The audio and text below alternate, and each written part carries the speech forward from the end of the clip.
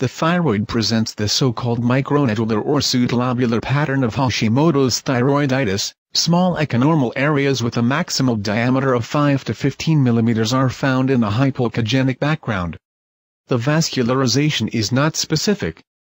The left lobe has a similar echo pattern, but there is a larger echonormal lesion in the lower lateral part.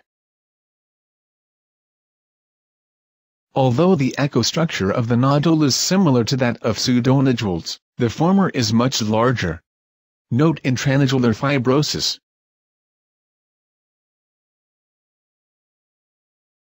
Paralesional blood flow is demonstrated while there is no vascularization according to the nodule.